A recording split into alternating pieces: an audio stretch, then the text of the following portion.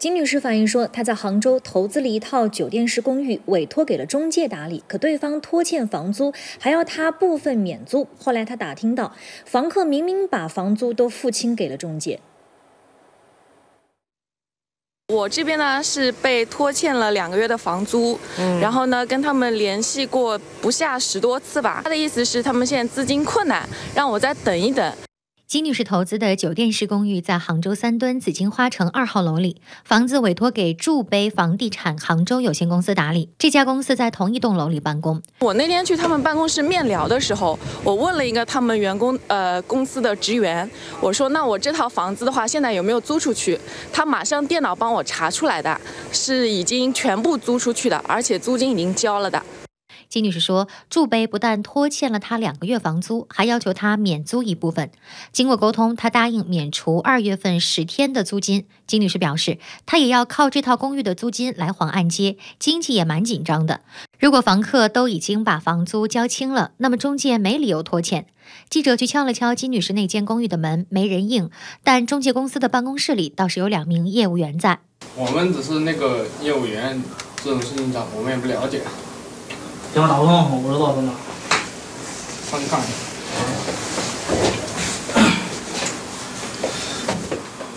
那晓得你清楚情情况吗？我不知道哎，我你也是业务员，我都不认识他。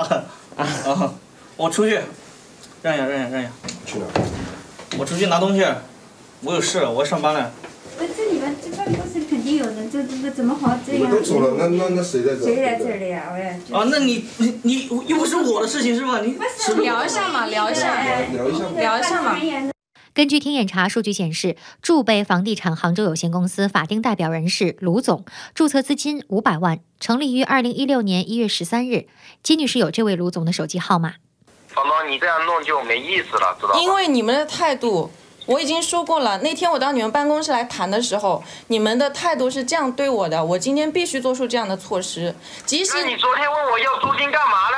我不能问你要租金吗？但是我还有二十天的房租压在你这里，你给了我一个口头承诺，你说要给我出具书面说明，你也没没给我拍照片过来。嗯。对呀，那你解释一下为什么喽？是这样的啊，我昨天不知道你们跟我那个微信叫海南百川的之间谈的是怎么样的，这是一啊，我只收到是昨天你需要我支付六千八。然后呢？那做剩下的事情你跟他协商的，我不就不知道了。筑杯的卢总认为是他的同事和金女士沟通出现了问题，公司并不是故意拖欠金女士房租。太好了，我给你们做个见证。那卢总，你答应什么时候再把那个事情都给他，做个承诺就好了。二十五号，这个月二十五号是吧？对。好，那你的问题解决了。可以的。幺八幺八黄金也记者报道。还有一位张女士反映说，她的房子也是委托给筑杯出租的，同样被对方拖欠了两个月租金，而且她发现自己的房子居然被注册成了一家酒店。呃，他已经把我的房子呢日日租出去了，他的被违法的，嗯，用了我的房子去注册了一家公司，我都不知情，我现在在网上都查到了。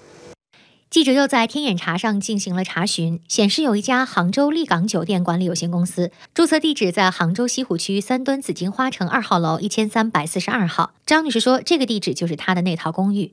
现场敲了一下门，里面住着一位客人。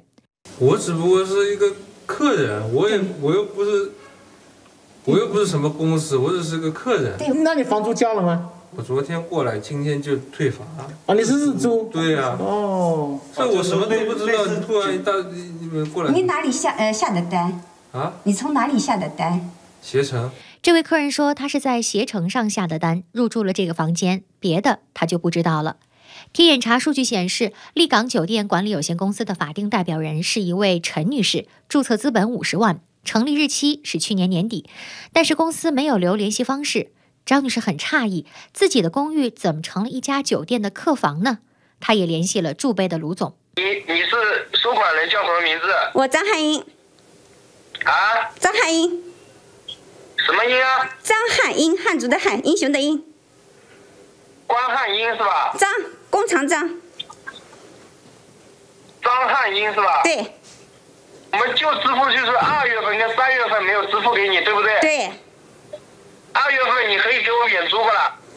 免租，你是说房客要求免租，但是房客是一个日租的，如果是明确的一个租客，他长租的，那我肯定是免的。我租给他的是日长租，这是一，我跟他之间签了两年的合同。你既然不免租，咱们用第二年的免租期放到这个月。我不同意，我不同意。我们有约定的，每年的呃呃，每年的免免租期都是首月，每年的首月。那么好了，今我不会这这给你提前的。